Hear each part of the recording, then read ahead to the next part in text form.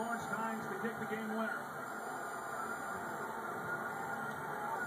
Officially a 31-yarder to win it for the Giants. Will represent the NFC and take on